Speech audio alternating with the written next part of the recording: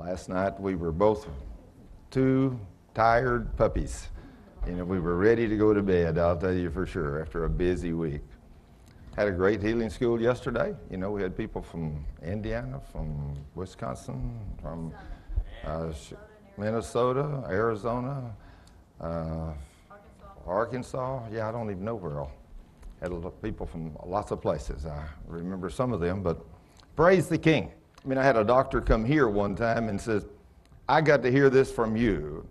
He said, I heard that you had a granddaughter who was in a car wreck that her brainstem was severed. I said, Yes, sir. That's what they told me. And he said, Who done the test? I said, Dr. Marks, head of neurology at Cook's Medical Center. And he said the brainstem severed. I said, Well, yes, sir. He done two MRIs, and both times he said it's severed. And he even said the eyes were jerked out of the brain. But I just stood on God's word and believed God couldn't put it back. So I said he did. And he says, That's impossible. That was a misdiagnosis. So there was no way, if the brainstem is severed and the eyes were jerked out of the brain, there's no way that little girl could be seeing and walking and running and talking today. It's impossible. I said, Well, one thing we know, you won't never see a miracle like this. you know, you got, to, you got to stop thinking like a man and you got to start thinking like the king. When you think like God, what becomes impossible? Nothing. That's right, nothing. So we have to stop thinking like man and start thinking like God. Jesus is so awesome. Oh, and uh, uh, David had a handkerchief there a while ago, and I anointed it with oil and prayed over it. And before you leave today, what I would like for any of you that are people of faith, David's sitting right there, uh, and uh, the, the young man with the glasses on and the red tie and the blue shirt right there. David, raise your hand, David. Praise the Lord. what I want you, David O'Toole, and any of you that have real faith that want to see God do a miracle. I want you, after church today, I want you to get a hold of him. I want you to lay hands on that handkerchief we anointed with oil. I want you to add your faith with my faith so that this man he's going to go to the hospital with and lay this on will be healed whenever he gets over there. Now, I think about faith and I think about what happens with this.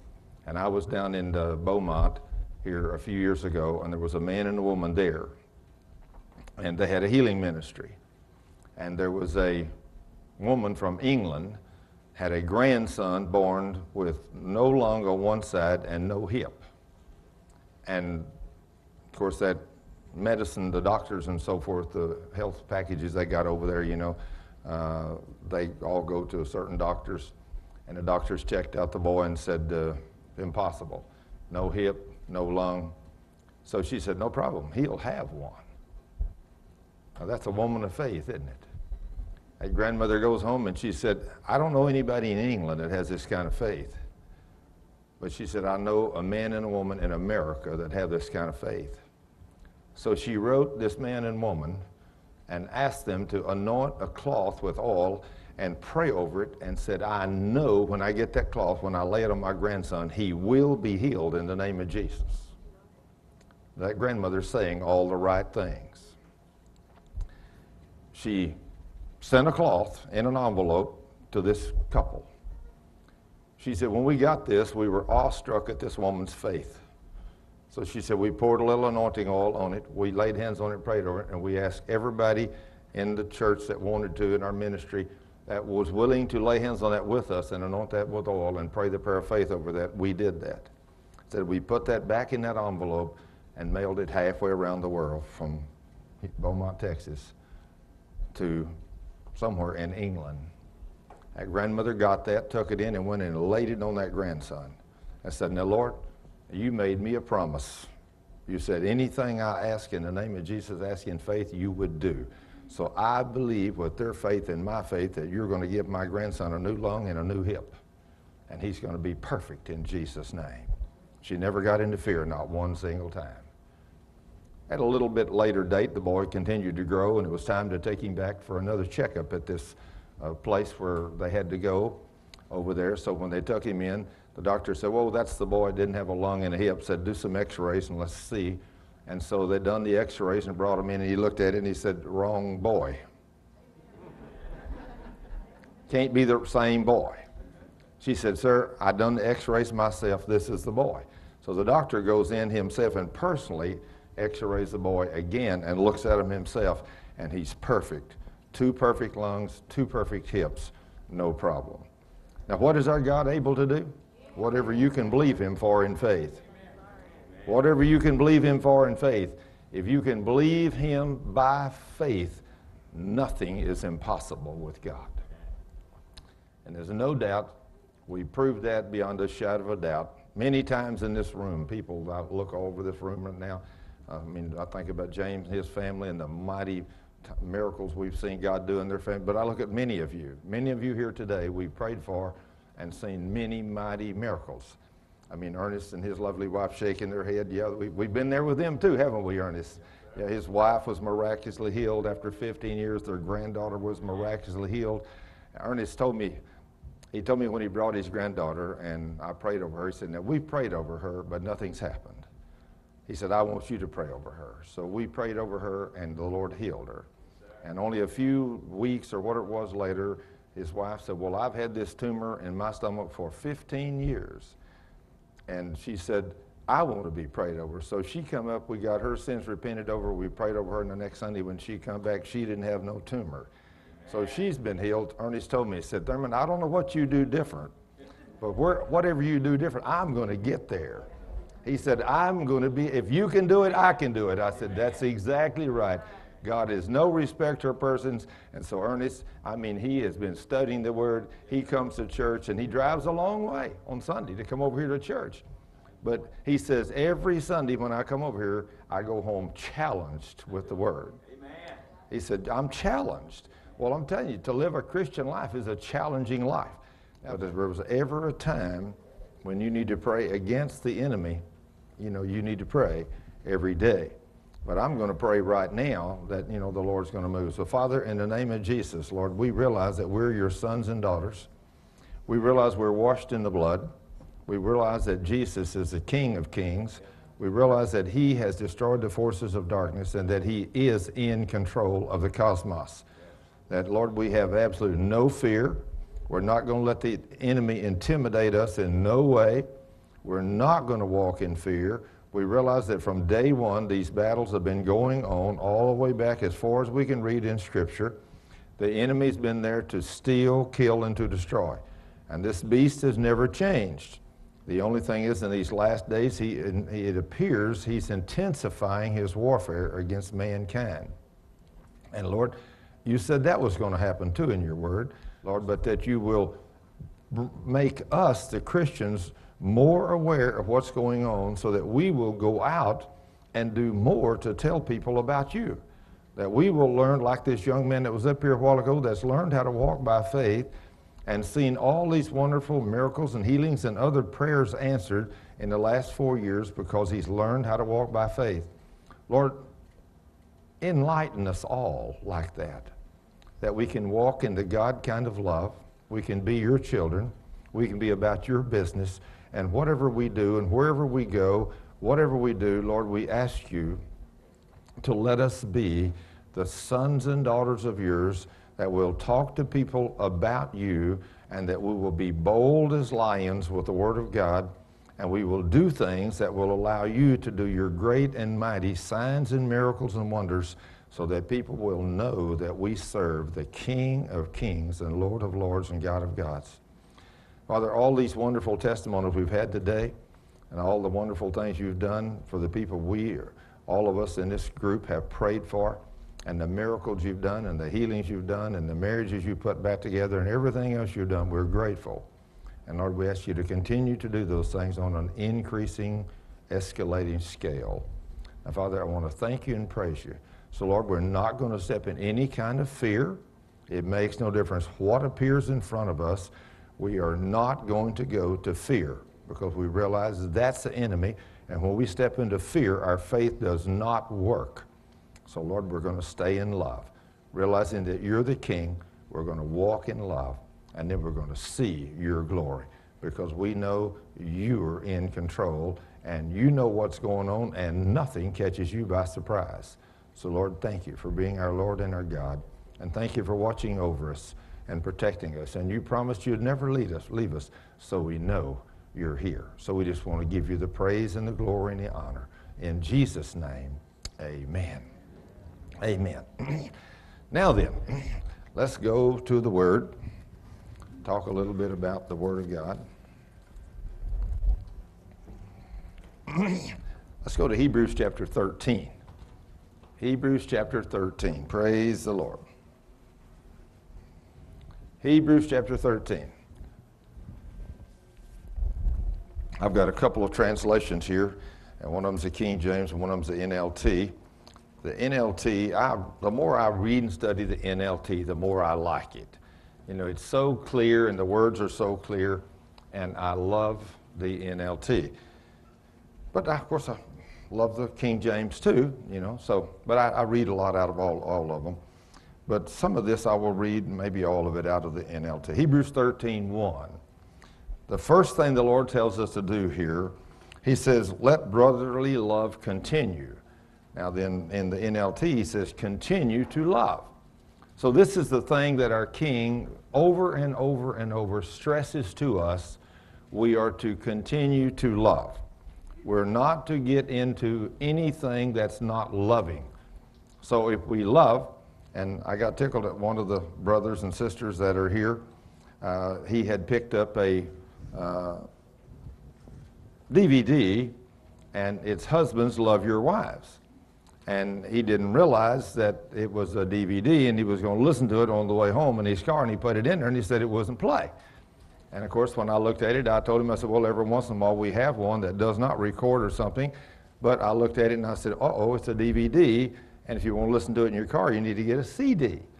I said, oh my goodness, I didn't even pay attention since both the discs look exactly the same. So he started back there to get one, and his wife said, Why don't you get two? Did y'all pick up on that? Why don't you get two? Well, what she really meant, she wanted him to have one and their son in law to have one. Because just think, this is where so many men in the church fail. The Word of God says, Husbands, love your wives. Continue in love. Husbands, love your wives. You know, we, many of us have read that scripture where it's, Husbands, love your wives so that your prayers will not be hindered. But you know, we don't really get a hold of that. But if you change the definition or change the words a little and say, Husbands, if you don't love your wife, I will not answer your prayer. That makes a whole lot of different, that just as clear as you can get there. So if you're allowing the enemy to get through to you, so that you're not walking in a love walk with your wife, then the enemy has done that to you so that you cannot get your prayers answered. You can pray all you want to. And if you're not walking in love with your wife, the king will not hear your prayer. So you wonder why so many men don't get their prayers answered?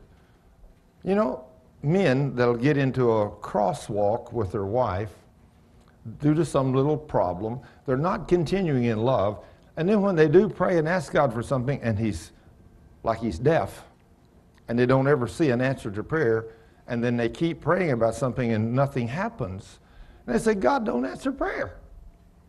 I've heard lots of people say, you know, I've prayed and prayed and prayed and prayed and prayed and prayed and prayed and nothing ever happened. Well, if you prayed and didn't nothing happen, then you got a sin in your life you need to get rid of. There's something wrong. Because when you pray, God hears and he answers. I mean, you, but, uh, you know, you've got to walk in this love. So if you're not in love, not walking in love, your faith will not work. And you cannot get your prayers answered. You know, so if you'll do it God's way, I mean, God's listening. I mean, I think about as, as and I've used this example many times for you and here. Uh, we talk about when James uh, said there a while ago, when he was talking about we had prayed, they had prayed. And a lot of times when James and his family prays, God answers immediately and instantaneously. We've seen that happen. In fact, the first time I met James was right here in this church, and his wife, Lori, had fell and hit her head, and she'd been virtually incapacitated for about six weeks. And he came up, somebody at work told him about things happening over here, miraculous things, and he asked the man that told him, said, Have you ever seen God do a miracle or healing? He said, Well, no, but I understand that happened at the Living Savior Church. So James came over here that Sunday and sat and listened to me teach the Word of God for an hour and a half or so. And he come up for prayer. He said, Mr. Scrivner, you sound like a normal human being, but they tell me that miracles happen over here. I said, Well, I just believe God, James. And I said, What do you need? And he said, My wife, Lori, is laying at home, incapacitated because she fell and hit her head. And said, we had her to the doctor and everything, but they can't find out what's wrong with her. I said, Well, Jesus said in Matthew 18, 19, if two of us on earth agree about anything we ask him for, he'll do it for us. I said, You've got to believe that with me, James. I said, I said, because you and me are two and we're on earth. And I said, now the next thing we got to do is agree. He said, he looked at that and he said, well, I can agree with God's word. I said, okay. So we prayed the prayer of faith. And then I told him, I said, I guarantee your wife will be up. I said, go home and get her out of bed and tell her to walk. So he got up and left. And before he got home, the son that they had left at home to be with Lori had tell, asked Mama to get up and go for a walk. And she said, you know, I do feel extremely good. And so when he got home, her and the little one was out walking, and Lori's been healed ever since. So we see God do some wonderful things, don't we, Lori? Lori's sitting over there smiling right now. That's her sitting over there with the baby, the one that we just prayed, or we prayed over the little one. They have four beautiful children, and five now with a little one. And like James says, when you see God answer so many times instantaneously, that's like Cheryl and I. I mean, we're walking a love walk with God and with each other and I've prayed over her so many times since we've been married and seen God do instantaneous, miraculous, just like we did with Ernest, you know, Esther. Well, I mean, we prayed over it, virtually an instant deal, wasn't it? Both for you, you, for your wife and your granddaughter. You know, but God doesn't always do it instantaneously. You know, even my own wife, one of the things I prayed for, he didn't heal instantly. And the next day she still had it, and we prayed over it. And after about the third day, of course, you know, she's so spoiled to these instantaneous miracles. You know, when she didn't get it, she looks at me and says, Have you sinned somewhere? because she wasn't getting her answer. And she wanted it right then because she's spoiled. You know, you girls can get spoiled real easy, can't you? Yes, you really can. And we love it. I love it when God heals your wife like he did. And you loved it too. I know Esther did. You know, but the thing about it, we love it when God takes a tumor away and dissipates it in just a matter of a few hours or a few days when she'd had the thing for 15 years. Now, what was a devastating thing about it, she told me about a friend of hers that had the same thing that had went in for surgery, and when the surgery happened, she died. Wasn't that what you said, Esther? Yeah. So she said, I'm not going to have this surgery. I'll just put up with this thing. Well, she had put up with it 15 years, but she didn't know she didn't have to put up with it. But if she could change a few things. And one of those things is our lack of faith. You know, we, we don't walk in the God kind of love by walk, so we can walk in faith. We think we're walking in love. We think we're doing what God says. But when we really get into the Word and see what He requires, See, the start out in this verse in Hebrews 13 was, he says, continue in love with each other. Do you think he really means that? What do you think God put all these wonderful words in this book for? He, he put them in there for a purpose, didn't he? He didn't say walk in love when your wife does something good to you. He said walk in love with her all the time, right, Ernest? And that's what God wants us to do.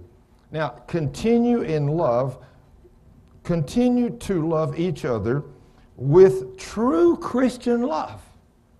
Oh, now that's a different kind of love. And some people love people because the person is good to them. You know, they may not be Christians. We know people that are not Christians that love each other, but some of them love people for different reasons. You know, there's many different reasons why people love. But this kind of love is a God kind of love, and this love is unconditional.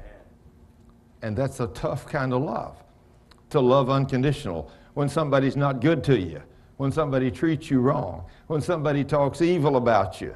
You know, whenever you hear somebody comes to church said, Thurman, you ought to hear about what this woman said about you. I mean, she says you're a liar and you're not teaching the truth and all that stuff. You know, well, from the flesh side, you'd want to say, well, let me tell you about her. You know. But that's not God's love, is it? The God kind of love, you don't retaliate with those kind of things. You just stay in love. Say, so, so the, the world, the world won't attack you much. It's the church that attacks you. Isn't that a shame? It's the church. I mean, but it, nothing's changed. In Jesus' day, who was his greatest enemy? The leaders of the church. I mean, they were the ones that come against him. I mean, the people loved what he did. I mean, it was only the PhDs back in those days that give him a hard time. You know, so, and it hasn't changed. Hasn't changed. I had a man come to the teaching in uh, San Marcos uh, Thursday night. We taught down there, and wow, and he had, we had a packed house down there. I mean, that church was running over. I mean, the pastor had to bring in chairs, and they had to bring in chairs and everything. I mean, we had a packed house. It was wonderful. But one of the uh, men and his wife that brought their children, he said, We've been associated with the Bill Gothard Ministries, and said, I got a problem, my wife's got a problem, my children got a problem. And said, One of the men that works with Bill Gothard was telling us about that you spoke at one of his conferences and that Andy, which was on the platform right then, had received a miraculous healing when you prayed for him. So he said, I caught a hold of Andy. And I said, Andy, I understand you had a tremendous healing when Thurman Scrivner prayed for you. He said, I sure did. And he said, it's still holding. And he said, by Andy working for Bill, and he told me you prayed for him. He said, we drove two hours to come over here tonight for you to pray for me and my wife and my daughter. See? But I told him, I said, sir, you're going to have to do the same thing Andy did. You're going to have to get rid of every sin. I said, that's what wrong. I said, Andy was a fine young man working for Bill Gothard in the ministries, and he was walking in the God kind of love. He was not having any sins. You know what Andy's sin was? I, it took me 45 minutes to find his sin. His sin was he didn't believe the promises of God. Somebody said, that doesn't sound like a bad sin, but it's bad enough to keep you in sickness and disease. And this young man had been already had surgery one time in his life, and here he is only 21 or 22 years old, and now he's walking with a walker again. And the doctor says if he keeps working in, I think it was 30 days, if he worked full time in 30 days, he'd be back in that hospital with another surgery. And he said if he worked part time, it'd probably be 60 days. And he, but anyway, all of them led back to surgery. When Bill called me and said, Thurman, what do you think? I said, well, I give him the fourth option, and it's Jesus. I mean, the king. The king's the healer, isn't he? But you got to believe. So I go through Andy's life. Are you a Christian? Are you walking in love? You know, are you committing adultery? Have you ever fornication? Have you ever thought about having sex with a girl? No, not, he didn't have done none of those things. I mean, he was a great young man to be 21 or 22 years old. Finally, come down to the fact. I said, "Well, Andy, all I can figure is right now, from what I, everything I've asked you, you just your sin is you don't believe the promises of God." He said, Sir, I do believe the promises of God. I said, Well, either you don't believe them or you don't know them. And I said, If you don't know them, he said in 2 Timothy 2.15 that you're to study to show yourself approved unto God. I said, You've obviously not done it. He said, Sir, I read and study the Bible all the time. I said, Well, let me find out. I said, Turn over to Matthew 18, 19. He turned back one of my favorite verses. I've seen more people healed and set free with Matthew 18, 19 than any other verse in the Bible and it's so awesome. He turned back to Matthew 18, 19. I said, Now read that promise. And he read it out loud. Jesus said, And again I tell you that if two of you on earth agree about anything you ask me for, it shall be done for you by my Father which is in heaven. I said, Now, Andy, you don't know that verse. He said, I've read that verse. I said, Okay, then you didn't believe it. I said, if you had, you could have found another one of them guys up there. Y'all could have agreed together, and that devil would have left you, and your back would have been healed. He said, Sir, you think it means exactly what it says? well, you know, you ought to ask yourself that question. You know, because I guarantee we have the same problem today. Because we've had this book for 2,000 years and it's made us these promises. And I mean, I didn't believe them, but you know, if you'd have asked me a few years ago, do you have faith? I'd have jumped up and said, absolutely, I got faith. I have great faith. But now I realize I didn't even know how to spell it. Oh, I could have said F A I T H, yeah, but I didn't know what it meant. I didn't know how to walk in it. I didn't know nothing about it. Now, you know, if you'd asked me, can you drive a car when I was 10 years old, I'd have said no. But when I got to be 20, you say, can you drive a car? I said, oh, yeah. I mean, I'd been on a racetrack. You know, I'd done all kinds of crazy things. You know, I mean, I knew cars inside out, upside down, and backwards. I could build one. You know, I could do everything. But when I was 10, I didn't know that. But when I was 20, I did. You know, but I could tell you back when I was 10, do you know anything about a car? No. But when I'm 20, yeah. But I understood those principles, but faith I didn't understand. So when you asked me uh, 30, 40 years ago, do you have faith? I just said, absolutely. Do you know the Word of God? Absolutely. I've read it. I believe it. I've read it from cover to cover, and I believe every word in it from Genesis to maps. But I didn't no more know the Word of God than I could fly without wings. You know, I just thought I did. I take this book today, and everywhere I open it to read it, when I meditate on just like this one line, so forth, continue to love each other with a true Christian love. Read that and then back off and let it sink in. That's what you got to do, right? You can't just read the Bible at face value and just read it and read it like you're reading a novel. It will not soak in. You've got to back off and say, Now, Lord, what do you tell me right there? Continue to love each other with a true Christian love. Well, Lord, what's a true Christian love? You got to think about what is the God kind of love. Okay, that's real easy, Lord. I'll love them with a God kind of love. Oh, you will? Okay. Let's find out if you're going to love with a true Christian love. Let's back up in the scriptures to 1 Corinthians chapter 13. We're going to find out if you're going to do what the scripture says. 1 Corinthians 13. Now we're going to find out what true Christian love is. And this is what separates the men from the boys or the ladies from the girls. This is the true definition of the Christian kind of love. And this will teach you that it's virtually impossible for you to walk here. It's not easy. I get when you read this, you're going to find out it, when the Lord told us in Hebrews 13 to continue to love each other with that Christian kind of love. This is what he's talking about. And you're going to find out how hard this is to do this, even to, at home with your wife and your children or your spouse. Either way, the wife or the husband. It is hard to do this. Listen to what he says. Though I speak with the tongues of men and of angels and have not love, I am become as a sounding brass and as a tinkling cymbal. You got to have love. And though I have the gift of prophecy and understand all mysteries and have all knowledge, and though I have all faith so that I could remove mountains, if I do not have the Christian kind of love, the agape love, I am nothing. Boy, you don't count for much, do you? Nothing?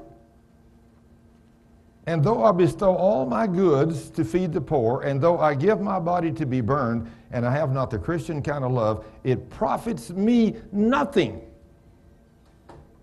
So if you don't walk in the God kind of love when you get home, how much, how much uh, reward, how many rewards are you going to get? Nothing. You got to do this God's way. You know, and so when you let's go on and look, get a little further now. Now let's see what how what this Christian type of love or the God kind of love in verse four Love suffers what? How long is long? Oh, okay. If you say something to me and I don't like it, okay, Lord, I'm going to suffer long. One, two, three. That's it. Bam.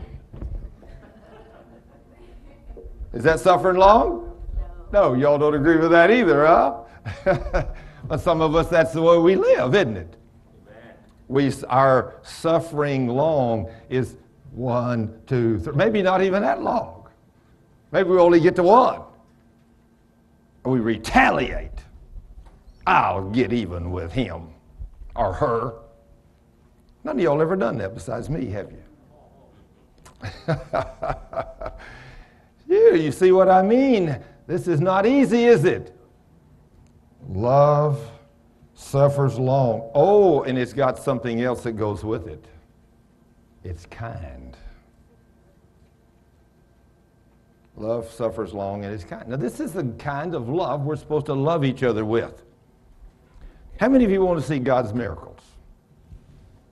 How many of you know you ain't going to see them unless you do what He says? now we know why we don't see many miracles, don't we? Now we know why we don't get our prayers answered very often. Because we're just barely got started. But love suffers long and it's kind. It's real easy to step outside that now, folks. Y'all all know you've been there just like me. But he tells us what to do there in Hebrews 13. And then when he comes over here, it says, Love suffers long and is kind. Love does not envy. It envies, never. You don't envy.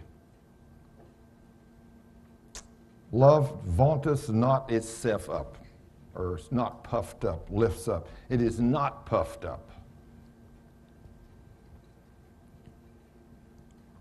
Love does not behave itself unseemly. Love does not seek its own way. So your wife wants to do something and you don't want to do it.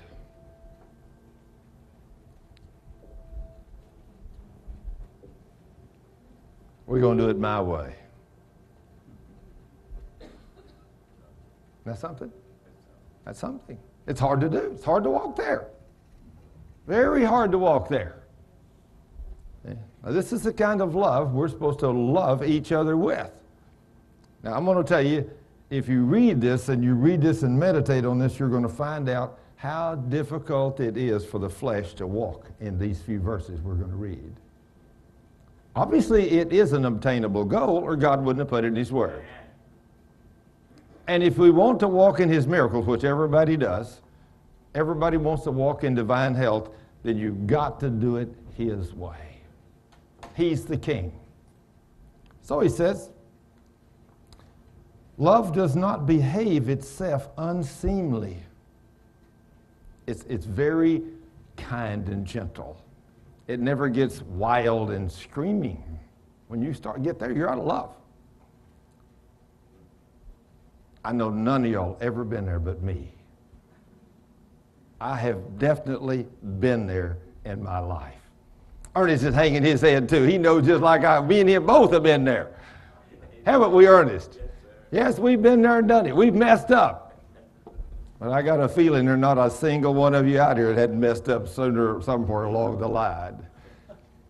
But this is hard to walk in this. It is hard to walk in because the flesh don't want to do anything the word is telling us here. The flesh wants its own way. It is definitely not kind and gentle, and it doesn't suffer long. I mean, long to the flesh is three seconds. If I don't get it in three seconds, bam, I'm out of here. You know, I mean, I know the flesh. Love does not behave itself unseemly. Love does not seek its own way. Love is not easily provoked, and love never thinks no evil about anyone. Sharon made a face on that one. That's hard to do, isn't it, Sharon? Yeah. yeah. We ain't going to think no evil, are we? Nope, this girl said, I ain't thinking no evil. I'm going to walk in love. I don't care what anybody says to me. I'm not going to think evil about nobody. Well, that's the attitude you have to get. Then it says, Love rejoices not in iniquity or sin. I have heard Christians say, I don't like that old boy. He may be in church with me, but I make a statement, well, if he keeps going where he's going, that sin is going to bring him down and maybe hurt him seriously. And they say, Good, I'm waiting for it. Now, hey, that's not the Christian kind of love.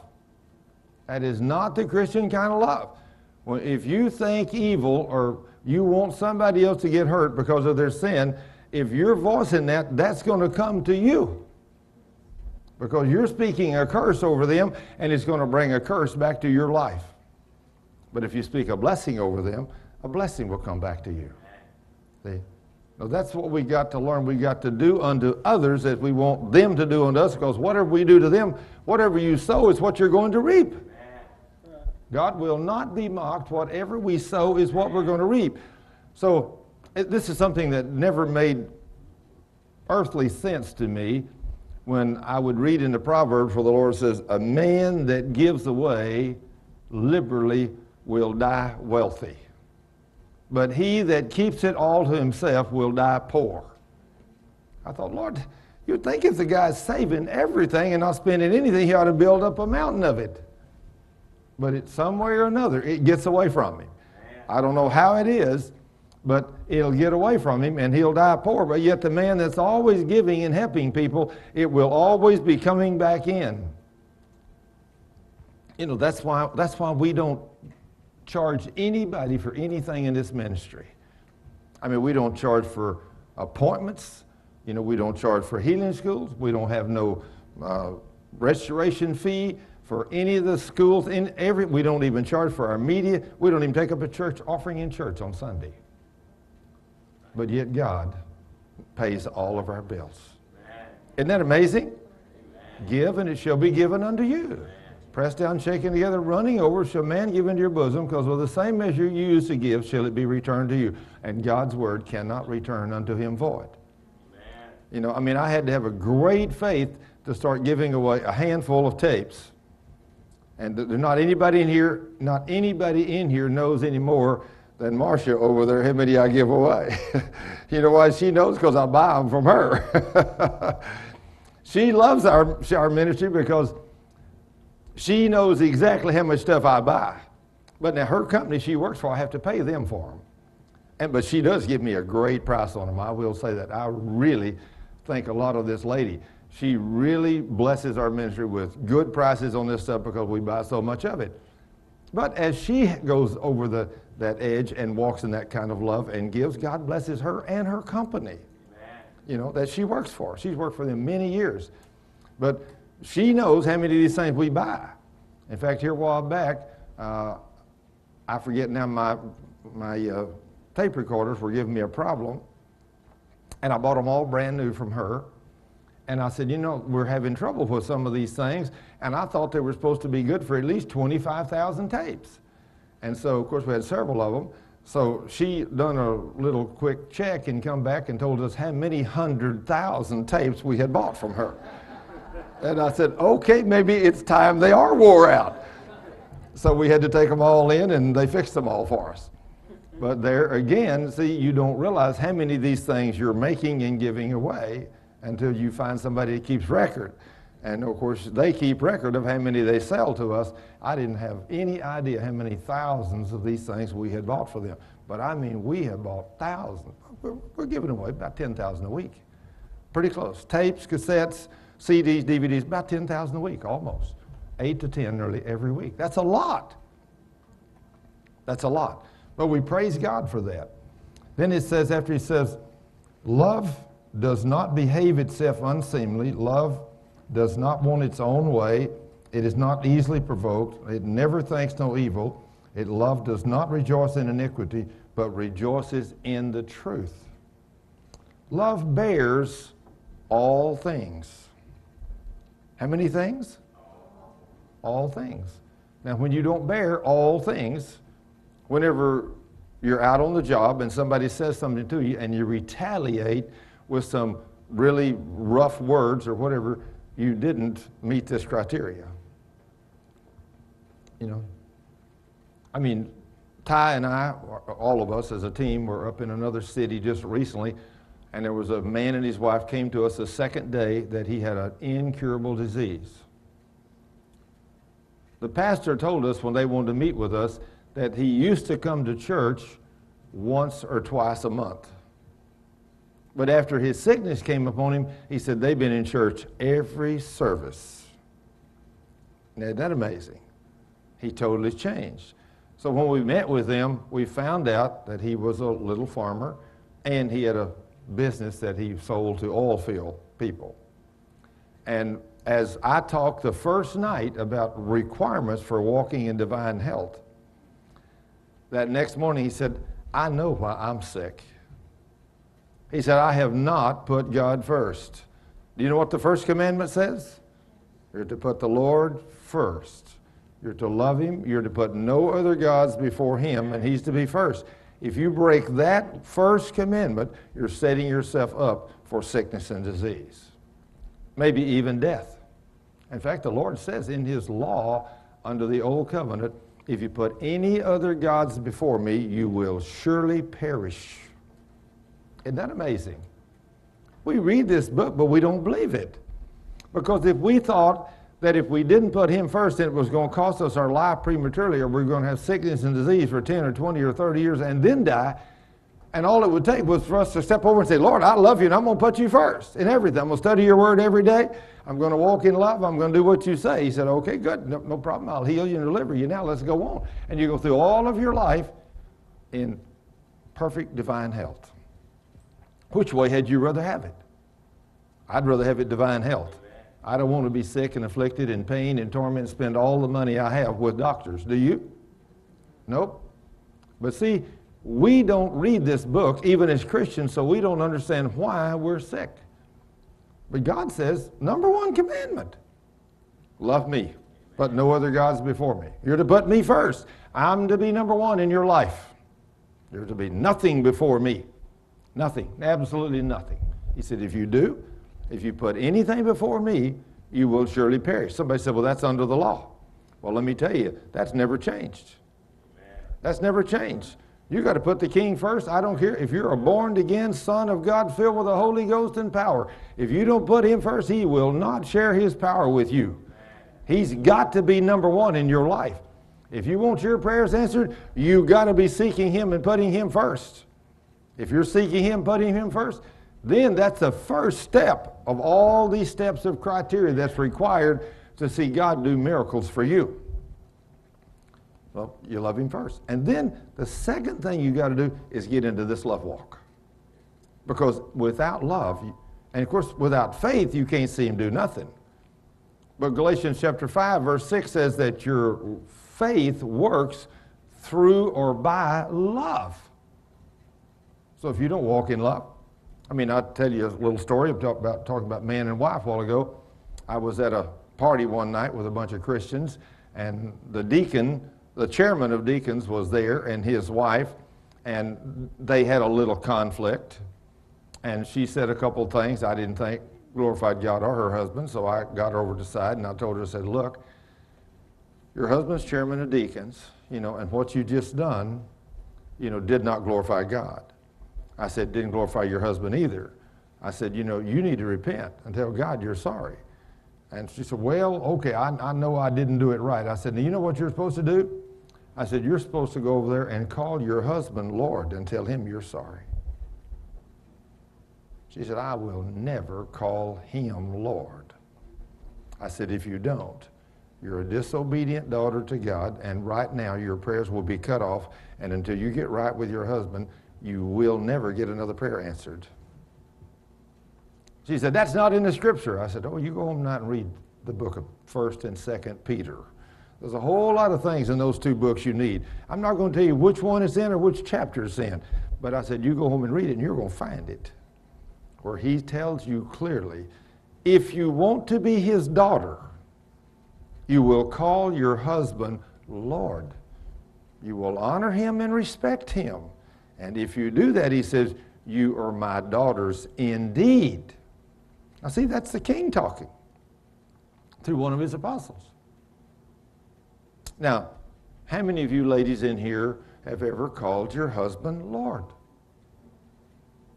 Very few of you. Very few. But if God told you to do it, why do you not do it? I'm serious. You want your marriage to be great? You want your marriage to be great? Then the husband's got to love his wife like this. If the husband loves his wife like God loved the church, willing to give his life for her, he said, then your prayers won't be hindered. He said, You come and ask me for anything and I'll do it for you. But then he tells the woman, You were to also to love that husband. You were to be subject to him. You know, and this is where so many women fail. The husband she may come to him and say, We need to talk. Okay? So we sat down and talk about something. And whenever we get through talking, he says, Okay, I've heard your input. I've thought about it. this is what we're going to do. And he makes a decision. He said, This is what we're going to do. Now, she may not agree with it, but if she doesn't agree with what his decision is, she is to go with his decision because he is the spiritual leader in the house. Now, if she retaliates against him and says, No, I don't like your decision, I'm not going to do it your way, she's in direct rebellion to him and to God. And her prayers are going to be cut off. She's not going to be, she's not going to be heard because she's not walking in obedience to the word. Now, then, if she says, Okay, honey, you're the spiritual leader of the home, I love you, you made the decision, I may not agree with it, but we're going to go with it because you're the spiritual leader and God holds you responsible for every decision that's made in this home. And He does. He holds the man. The monkey's off of your back. But the monkey's never off of the man's back.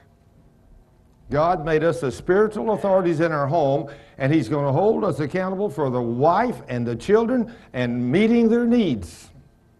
And every man will stand accountable for his family. Boy, that's scary. When you think about that, that's scary. But see, when you do it His way and read His Word and do what He says, then He'll bless your socks off and He'll answer your prayers. But He says here, when we rejoice not in iniquity, but rejoice in the truth, love bears all things, it believes all things, it hopes all things, it endures all things. Love never fails. When you walk into God kind of love, how often will it fail? Never. Never. That's exactly right. Now then, we go back to Hebrews 13.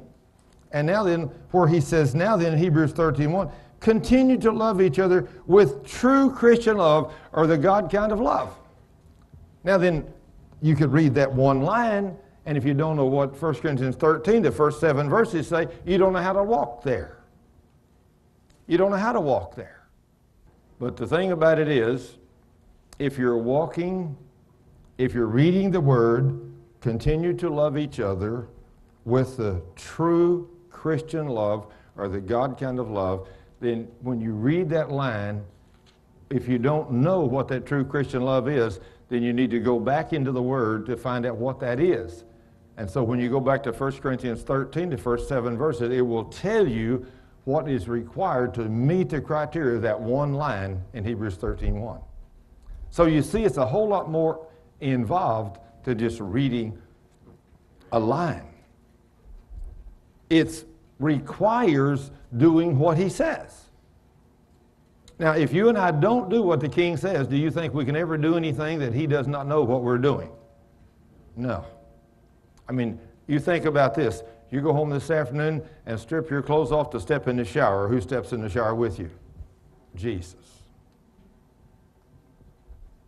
You go home and say something to your spouse. If they're a born again Christian, if I say something to Cheryl, guess who I'm talking to, really? Jesus, because our King is in her. If she's talking to me, who's she talking to? Jesus. Now, there's times for both of us, just like you, if you were going to say something to either maybe a brother or sister in Christ or your own mate, if you were going to say something, and if you were a little upset and you were fixing to say something you know you shouldn't have to say or not supposed to say, and if you stepped up to them to say something and outstepped Jesus right in front of you, I guarantee you'd change what you were fixing to do. We're going to walk, continue to love each other with a true Christian love. Then he said, Don't forget to show hospitality to strangers. Somebody says, I ain't going to show no hospitality to a stranger. They come by, I'm not even going to talk to them. Well, look, the Lord says, Don't forget to show hospitality to strangers, for some who have done this have entertained angels without realizing it. Can you imagine what it would be like? In fact, I think about this story and I, it's been told so many times, I assume it's true. At least it happened to somebody. I know God could very easily do this. Said there was a, and some of you I'm sure have heard this, it's usually around a lot at Christmas, you get emails with it on it. But it said this man had been told that the Lord Jesus was going to come to his house this evening for dinner. And he went out and took the little bit of money that he had and bought the finest foods and things he could get.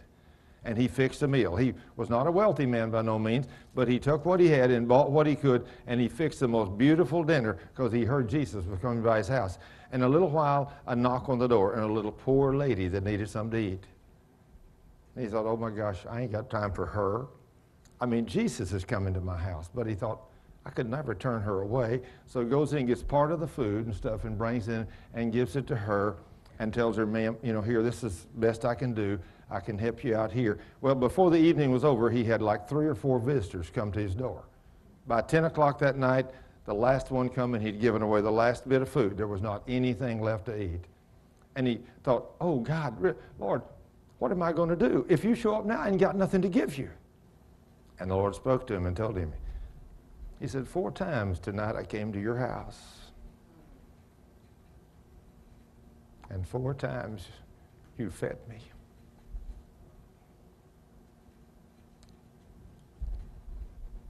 As often as you do this to the least of these, my brethren, you have done it to me. That's the part we miss. We miss Christ in you. We fail to see Christ in each other. I think we need to start walking in this God kind of love. So when we see another brother or sister, we see Jesus so that we can love them, so that we can not condemn them. If there's anything we do in this church, as well as every church in, in the world, that we as people need to start walking in a godlier love with people. When you talk to people, talk to them gentle in love. Don't run up, throw your finger in their face and start condemning them. Walk in love. You want your prayers to be answered? I do. Then God says we're supposed to walk in this kind of love. Is it difficult to walk there? Yeah. Is it difficult for me to walk there? Yeah. It really is. But I'm trying to learn. Amen. I'm trying to learn how to walk in that love. I don't care what happens to me. I don't care what anybody says to me. I don't care what happens. I'm going to walk in the God kind of love. You know, I'm not, a, I'm not perfect. I'm a human being and I still make mistakes. But Cheryl and I, we, I told her here a while back, I said, honey, I'm turning over a new leaf. I, she had never heard that term. But that's, that's something. Oh, okay. But she said, but anyway, I, I told her I'm turning over a new leaf, and I meant that. You know, I, I, I want that leaf to be turned over in the God kind of love so that all the time when I deal with you or I deal with her or anyone else I deal with, I want them to see Jesus in me. I don't want them to see me. I want them to see our King. And I want them to think when they come up and talk to me, I want to have that love and that glow of God about me so that they don't see me, but they see Jesus. So if you see Jesus when you come, He's the one you're coming to get the touch from. And if you see him, then he will touch you and you will get it. And if you come to me and expect me to do it for you, you think, if I could just get Thurman to pray for me, I know I could be healed. Well, if you see Jesus in me, then that's when it's going to happen. But as long as you're looking to me as your provider, it's not going to happen. But you got to see that Jesus. And if you and I can walk in that God kind of love, and remember, he said, continue in that love all the time. 24 7. Not at church. It's a whole lot easier to do it at church than it is at home or in a restaurant or somewhere else. But you know, we obviously can do it. And just think if just this little group of people right here, if we could walk in that God kind of love 24 7, where we go in the course of a week, you know the impact we could have on this world. We, Tom, we could have some kind of impact, couldn't we, sir? There ain't no telling how many people we could touch. No telling. But whenever, you know, lots of people have heard this, oh, Thurman, he's a Christian? Wow, if that's what a Christian is, I don't want nothing to do with Christians. You ever heard people say those kind of things about people? He goes to church. Wow, you'd never know it at work. He tells the same dirty jokes everybody else does. He cusses like a sailor. If that's what it, he even runs around on his wife. If that's what it takes to be a Christian, forget that nonsense. I don't want to be like him. See, that should never be said about a Christian, should it, Ernest? Never. Everybody ought to say, there's something unique about you. Amen. I mean, I ain't never seen nobody that glows like you do.